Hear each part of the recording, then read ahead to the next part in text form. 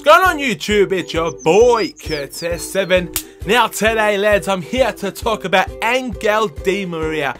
Yes, there's a lot of press going on at the moment. What is happening with Angel? Is he going to PSG? Is he going to Manchester United? And I wanted to talk about a few things about Di Maria.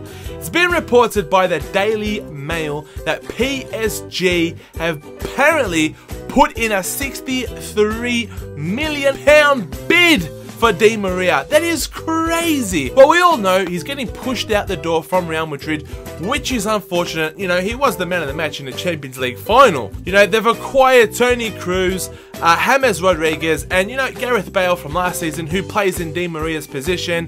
So he's getting pushed out the door, which is such a shame. I would love to see him at United, but I tell you what, I would not pay more than one penny over 35 million pounds for the lad. I know he's a talented player. I know that. I get that. He was man of the match Champions League final. I just said that. I know. But I tell you what, lad, he is a winger. And all wingers are inconsistent. I'm not saying that he is inconsistent. It's just a very difficult position to play. And that's just the way it goes, guys. I'd love to see him at Manchester United. Just not for that hefty price tag. For that hefty price tag, you'd want game changers, you know, like your Cristiano Ronaldo's, Lionel Messi's, Gareth Bale's. You know, does Di Maria fit into that category?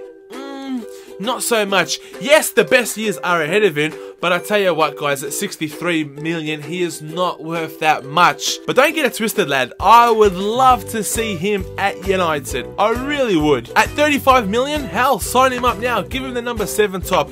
He would be one of the best wingers in the Premier League. I am not doubting that for one second. What I am doubting is the price tag. He can't justify more than 35 million. He's the type of guy that'll get you 20 assists a season, you know, a few goals here and there. You know, last season he played 52 games, he got 20 something on assists, he got over 10 goals. I know he's a genuinely a great player. I'd love to see him at Manchester United, just not for that hefty price tag. In saying that, I don't want Manchester United to splash the cash on a winger. If we're going to be spending that sort of money on a player, it has to be a central midfielder or a centre half, not a winger. But the question I have come to ask you guys is do you guys agree with me? Is Di Maria worth more than 35 million? I'm going to leave a link in the description. Go and vote yes or no. Is he worth more than 35 million pounds?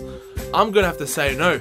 Anyways, lads, that's my thoughts about Angel Di Maria.